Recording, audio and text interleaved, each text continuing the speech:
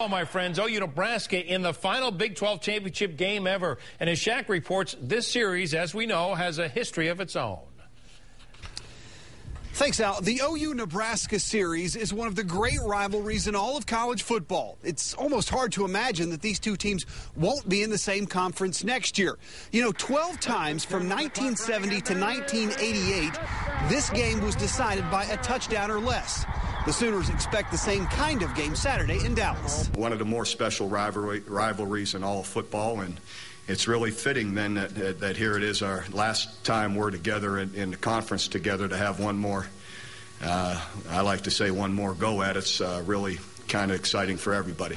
In addition to the tradition of the two programs, the two head coaches go way back. The Stoops and Pelini family names are pretty famous back in Youngstown, Ohio. It's very much a, a blue collar environment. Um, work hard for, for anything you get, you got to earn it.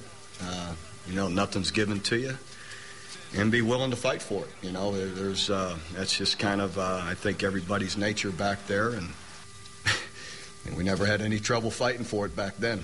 Both of these coaches have players that are in question. Bob Stoops is unsure about DeMarco Murray.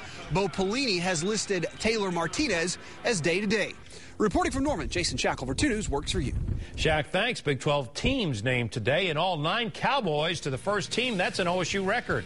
Meanwhile, Justin Blackmon, Offensive Player of the Year. Meanwhile, for Oklahoma, Ryan Broyles and DeMarco Murray head the OU list. Eric Mensik as well. Jeremy Beal named the Conference Defensive Lineman of the Year, and Quinton Carter is a Defensive Backfield finalist.